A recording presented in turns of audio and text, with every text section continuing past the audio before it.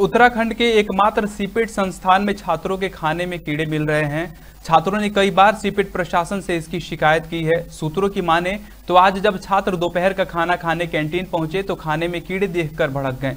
छात्रों ने इसकी शिकायत खाद्य विभाग से की है। खाद्य सुरक्षा अधिकारी संतोष कुमार ने मौके पर पहुंचकर खाने की जाँच की तो उसमें कीड़े मिले।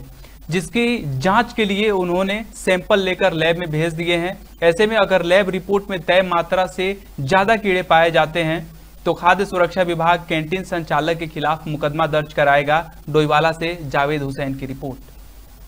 सर, खाने में आए दिन कीड़े मिलते रहते हैं। मेरे खाने में मेटल मिला था सर मेरे। को अगर सर मैं वो खा लेता तो मेरे साथ क्या होता? आप खुद हो सकते हो कि सर मेरे साथ क्या हो सकता था वो खाने से? वो मेरे को मिला, मैंने निकाल के फेंक दिया, उसको मैंने उसको फ़ोटो ली।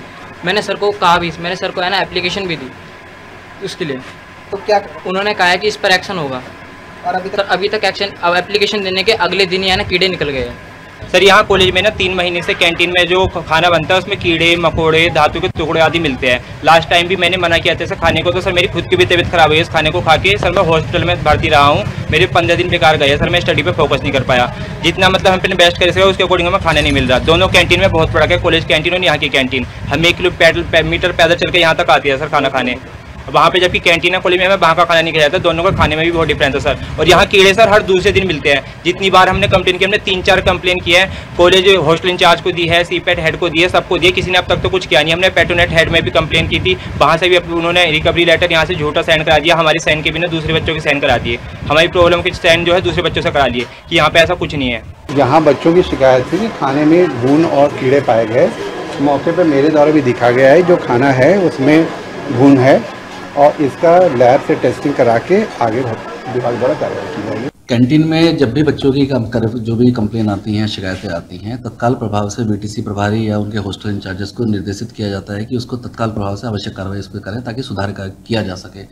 खाने में वर्तमान में कोई परेशानी आती है तो इमीडिएटली उसको खाने को रिपेयर उसको दोबारा बनाया जाए या उनको बच्चों को अच्छे तरीके से खाना खिलवाया जाए, ये किया जाता है।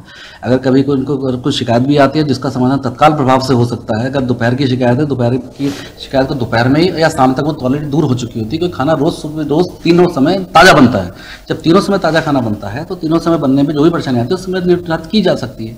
अभी भी जो कंप्लेन आपकी आई हुई है, उसके संदर्भ में आवश्यक कार्रवाई है तो निर्देश ऑलरेडी दिए जा चुके हैं कि बच्चों की समितियाँ बच्चों को बैठा के मॉनिटरिंग को थोड़ा सा और बढ़ाया जाए, ताकि इस प्रकार की जो घटना है, पुनरावृत्ति न हो।